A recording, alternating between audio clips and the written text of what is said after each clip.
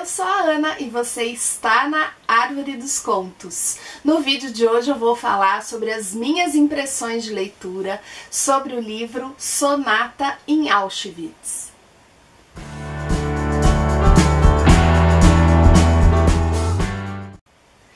Então, neste vídeo, né, eu vou falar sobre as minhas impressões, a minha emoção ao ler é, Sonata em Auschwitz, um livro escrito pela Louise Valente. É, essa autora escreveu um outro livro também, é, Uma Praça em Antuérpia e o Segredo do Oratório, que eu vou né, correr depois para é, conhecer outros trabalhos dela. É, publicado pela editora Record, esse livro foi lançado no finalzinho né, de 2017. E eu já adianto para vocês que eu gostei demais. Foi um livro que me surpreendeu muito, mas vamos lá. Bom, primeiro falar um pouquinho da capa, né? Porque esse trabalho de capa que foi feito para o livro foi incrível. Como ficou bonita a capa desse livro, apesar né, de remeter a um lugar é, que historicamente é marcado por muita é, tristeza né? E tragédia de forma inimaginável, mas a capa realmente ficou belíssima. E nesse livro aqui, a história já começa com um oficial alemão, o Friedrich, é um jovem oficial de 24 anos que está ali dirigindo um carro, está na estrada, né? É, numa situação ali de fuga e tem um bebê dentro desse carro. É, então, assim, quem já leu algum livro sobre né, esse período histórico é, e ambientado nessa situação, Auschwitz, um oficial alemão, um bebê, peraí, isso aí não tá combinando, né? É, isso já me prendeu de uma forma, eu falei, aonde ele tá indo com esse bebê? Se alguém pega ele com esse bebê, esse bebê é de quem? né? Ele está indo para onde? Né? E você vê que ele está aflito, né? Ele está em fuga.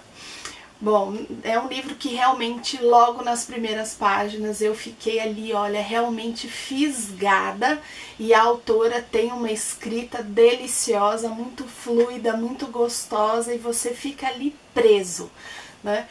É bom, mas o livro ele tem tempos, né?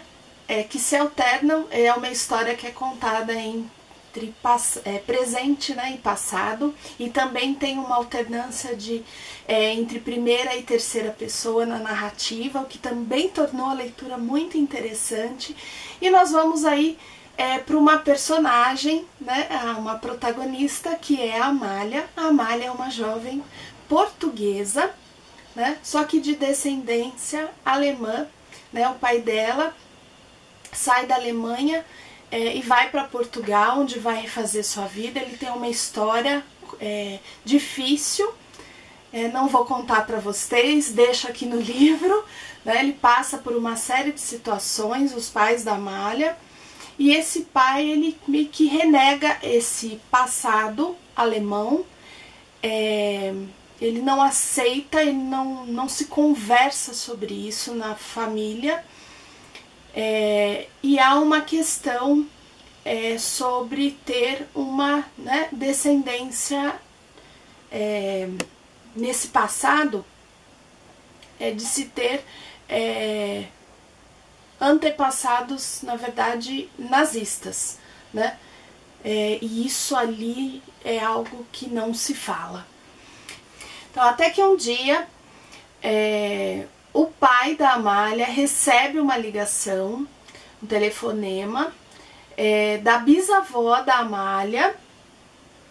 É, e a Amália, ela, ela escuta essa ligação e as informações que ela ouve fazem com que ela tenha uma vontade muito grande de ir em busca é, do seu passado. Né? Quem é essa minha família? Quem é esse meu passado?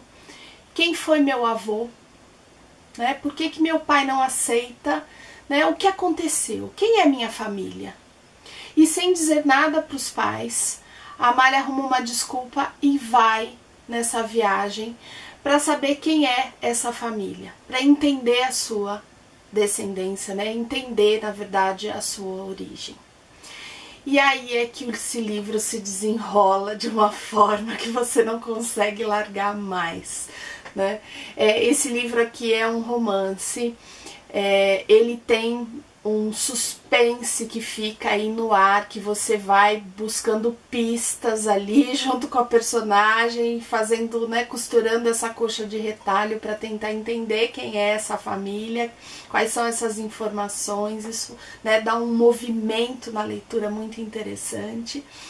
É, mas ele é um livro assim de ficção, mas com todo um pano de fundo histórico por trás. Você percebe o quanto essa autora né, pesquisou é, para fazer, é, é, criar, na verdade, esse livro. E eu vi uma entrevista dela depois que eu fiz a leitura, onde ela fala, inclusive, que ela viajou, ela foi a Auschwitz, né? Ela fez questão de sentir né? É, o local, ela foi a Berlim também, porque isso tem a ver com a história. Então é muito interessante, né? O, o autor se dispor a passar por tudo isso para construir um livro e construir este livro, né? Que foi assim uma leitura realmente que me agradou muito, né? Então aqui é, nesse livro nós temos, né, com toda essa pesquisa que a autora conseguiu fazer, é toda uma ambientação que traz uma veracidade para a história e faz com que a gente se envolva de uma forma muito mais profunda. Então há momentos do passado é, onde outros personagens, que são personagens né, é, é, judeus, é, onde a autora vai contando o dia a dia deles, toda a transformação naquele período da Segunda Guerra, né, a questão da, da influência nazista no dia a dia deles, e isso é contado de uma forma é, com tantos detalhes, né, o que eles passam, a forma com que a vida deles é atropelada, com que a individualidade deles é retirada.